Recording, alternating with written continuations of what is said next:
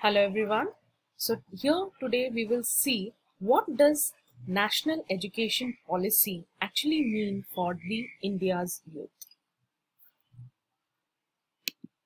So the Indian national education policy is a comprehensive framework that outlines the vision and direction for the development of education in the country.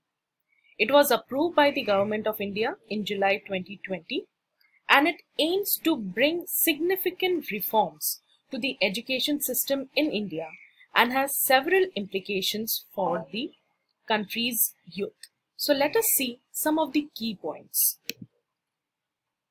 The first point is holistic development. So the NEP emphasizes the holistic development of the students, focusing on the cognitive, social, emotional, and physical aspects. It encourages a multidisciplinary approach for learning, promoting critical thinking, creativity, and also problem solving skills. Flexibility and choice. So earlier Indian education system was very rigid, but this policy provides flexibility and choice to the students, allowing them to choose their preferred subjects across disciplines. So it encourages multidisciplinary approach. So one student can learn two or three different things at the same time depending upon his or her interest. Then skill development.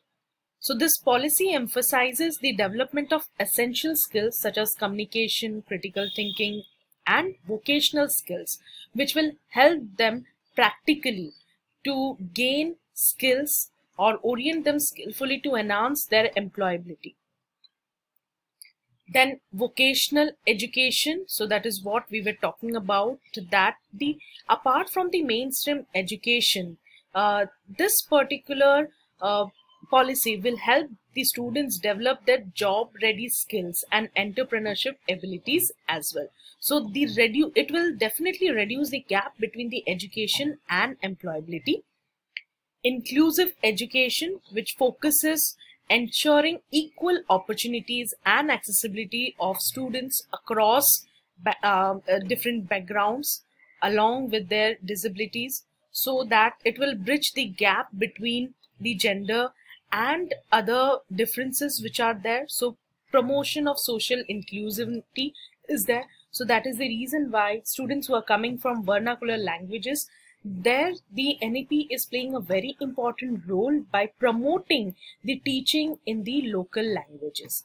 Finally, the teacher training and professional development. So NEP emphasizes that the teachers should be first trained so that it, they will be enabled uh, uh, to give the professional development opportunities okay and innovative teaching methodologies could be adopted so uh, we really think that this NEP uh, policy, uh, this new policy will be very, very useful for the uh, coming uh, for the India's youth and it will transform the entire education system, making it more inclusive, student centric and skill oriented. Thank you so much.